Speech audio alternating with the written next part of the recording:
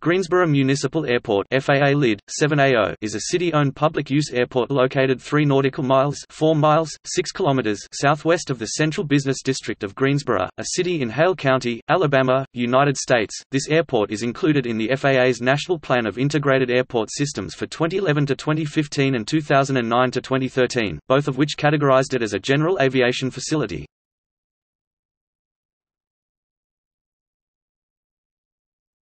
Topic: Facilities and aircraft.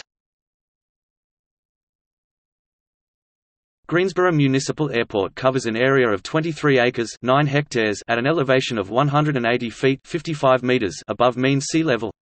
It has one runway designated 1836 with an asphalt surface measuring 3,495 by 78 feet 1,065 by 24 meters. For the 12-month period ending November 7, 2007, the airport had 2,088 general aviation aircraft operations, an average of 174 per month. At that time there were nine aircraft based at this airport, 67% single-engine and 33% multi-engine.